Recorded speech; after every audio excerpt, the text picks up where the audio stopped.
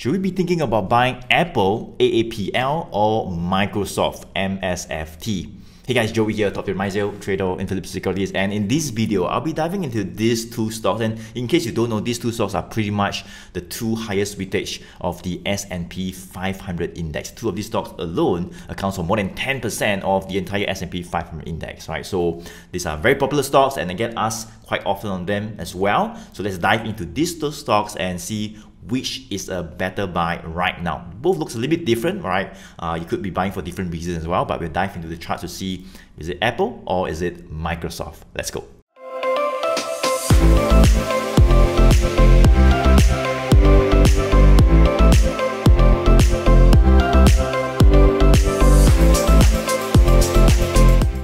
Alright, so this is Apple right here. And in case you don't know, Apple and Microsoft are some of my two favorite stocks, right? That you definitely want to have in your portfolio for the longer term. Alright, and um, you can see that for Apple right now, we have traded lower over the past one over week.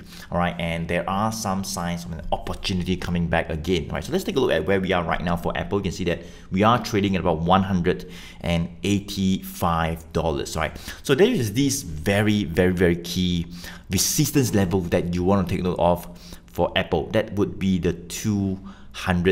So $200 has been a very critical psychological resistance level. You can see somewhere around July last year, Apple kind of like approached this level. We traded below for like two weeks and we sold down, swing down, swing all the way down to November. And of course, the market rebounded. Right, due to talks about rate cuts this year, the market rebounded. Apple also rebounded and went all the way up to that same $200. You can see somewhere around $200, we also, you know, kind of like saw a little bit of a bearish candlestick. You can see right up here some bearish candlesticks whereby we got what we call candles with long upper shadow or long wick up that shows that sellers are coming back to push prices down this is what we call something like a doji right over here right near that $200 level as well and after that you can see we consolidated and we started to sell back down again right so that is the $200 very critical psychological resistance level that you want to watch right i think that if we were to break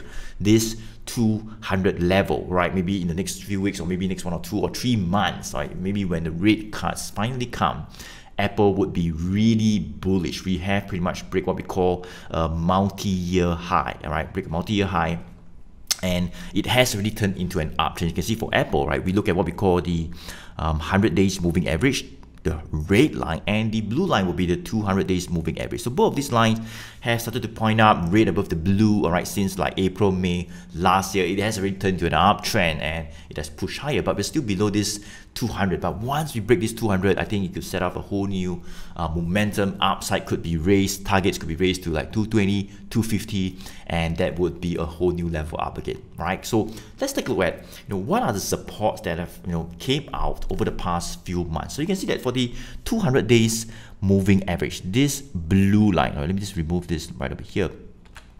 You can see that this blue line is what we call the 200 days moving average. And somewhere around like October, we traded lower. We neared the 200 days moving average, which is about the 170 level. So let's just put another support somewhere around here. That would be a support level.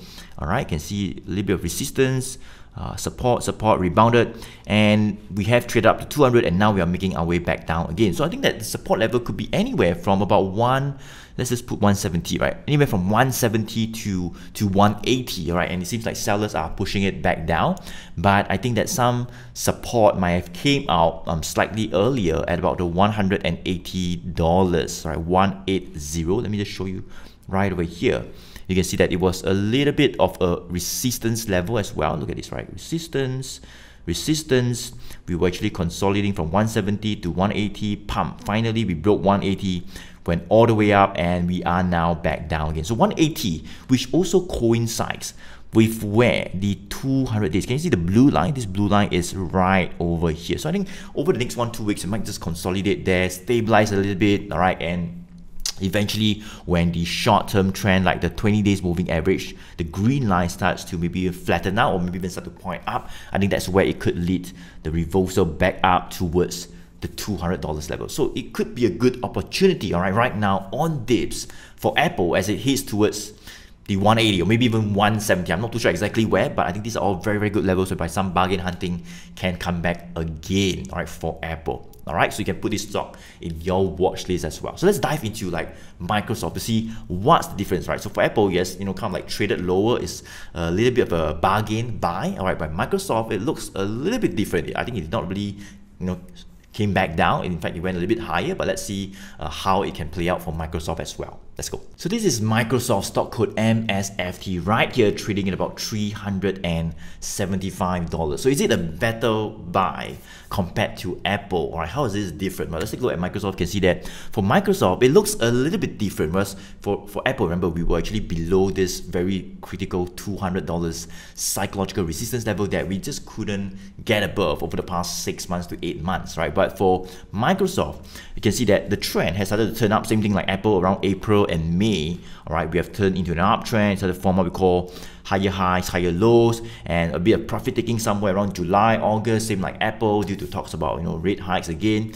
But we saw a pretty good move somewhere around November, October, all the way up. And you can see that for Microsoft, it's slightly different because we have breached this very critical resistance levels. This resistance is around that 350, 360. That was pretty much where we were just about two years back as well, before the entire uh, you know rate highs and inflationary pressure and all that. So that was pretty much the multi-year high two years back. We have breached both of these two levels, 350 to 360, and we have gone on higher. So it's a little bit different from Apple, whereby we are still below this $200 uh, resistance whereby we have not been able to clear above. All right, so Microsoft can see that after breaking this 360 level over the past like one month plus, right, one, two months plus, this 360 has formed into what we call a support level. So resistance turns support and the trend, which you know, right away you can see was an uptrend since like April, May. It is still in an uptrend, 100 days moving average, the red line above the 200 days moving average blue line, both of them are still pointing up as we are consolidating higher at a higher support level, right? So that is a good thing. So it looks a bit different, and I would say that for Microsoft, it could be a pretty good, uh, you know, move up as well in terms of more upside happening fast because we have breached the resistance, and breaking the resistance is one thing, staying above it is one thing, right? We don't want to like come back down again below 360 or below 350. If that happens, then we might see it, you know, go back down maybe to like 320 again because that's where the previous support were. But right now over the past one month you can see that we have found that higher support right so the support actually got higher right just by looking at the prices itself support here support support and now this has came in as a support around the 360 all right and what would be the temporary resistance level? Maybe about 380 it seems like the past one month all right 380 seems to be a little bit of a west buy i mean sellers are coming back. And see as consolidate here swing up swing down swing up right? You might just move up and down from 360 to 380 and eventually if you're to break that 380 i think potentially maybe to 400 or 420 450 that could be where upside targets could be revised higher, right? So this is Microsoft, right? I think it looks quite good, right? It just looks a little bit different for Apple. I think both of them are good buys, but they're for different reasons. Apple is more of it being a bargain. It's kind of like deep to some of those pretty attractive support levels, right? We are not able to break the resistance, but now there's deep down. It looks attractive. That's where you could get it. For Microsoft, it has breached, you know, the resistance. There's turned support. We are consolidating at a higher support unfortunately it's a bit more expensive. I mean it didn't really came back down but that is where it also provides an opportunity to get in right to ride even more upside as long as this new support were to hold. Right? like i mentioned right 350 360 these are all pretty good support right now and as long as we hold above them there could still be more upside. The uptrend remains intact so there we have it guys, I've done an analysis on Apple, AAPL and Microsoft MSFT, pretty much the two largest cap stock that accounts for more than 10% uh, in terms of the S&P 500 index. Right, so I hope you have a clearer picture on what to do for each of them, how they're different and what are some of the key levels that you could actually time your entry to get into right even more upside.